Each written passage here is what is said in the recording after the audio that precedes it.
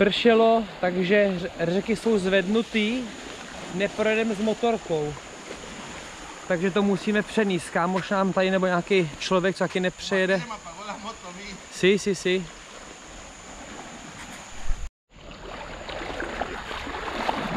No to je celkem, to má prout,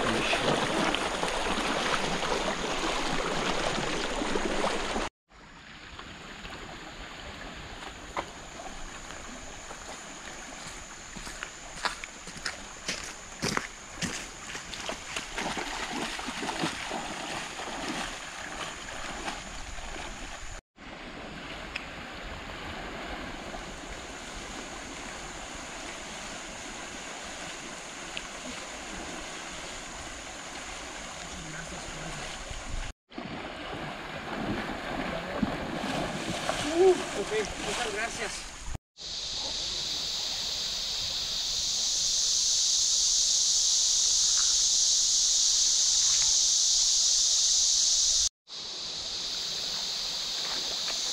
První, než se to proje na motorce nebo autem, když je zvýšená řeka, tak se to musí projít, prostě to otestovat.